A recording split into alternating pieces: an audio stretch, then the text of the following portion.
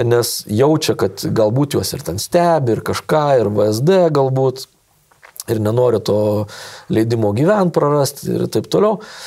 Bet uh, užsimiršta kartais ir, pavyzdžiui, paskaldo juokelius, įdeda savo kelionės dokumentą, tą vat, lietuvišką, ir rašo, va, nustojau rašyti ir kalbėti lietuvą, pradėjau sakyti Lietuva. Ir žiūrėkit, davė leidimą gyventi. O jei dar pasakysiu Mindaugasasas ir Gediminas Asasas, tai gal duos ir pilietybę. Hu, hu.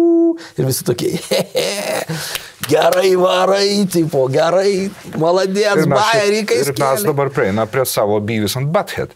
Ir Beavis and Butthead šiandien, mano vertinimu, aš labai atsiprašau Rasą ir Andriu, bet būtent jūs ir esate šiandien Beavis and Butthead. Kubilius ir Juknevičianė ar iš durnumo, ar iš didelio durnumo nesupranta, kas čia po šimts pypkių vyksta. Ir jie yra.